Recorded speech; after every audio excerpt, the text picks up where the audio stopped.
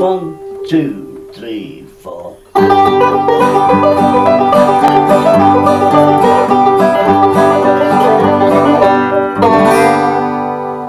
So let's take that slowly. It's all playing around the chord of G. It starts off with three notes of G, starting on the fifth string, the eighth, eight on number two, so that's two Gs. We finish on the open fifth, so it's three Gs.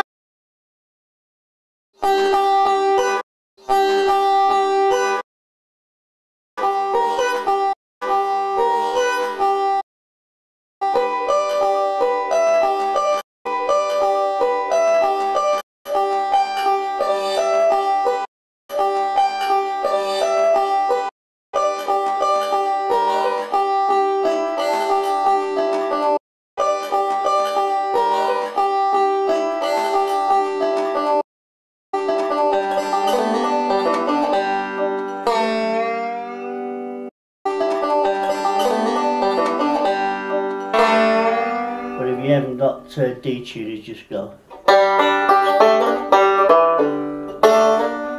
Just slide it, does the same effect. So there we go.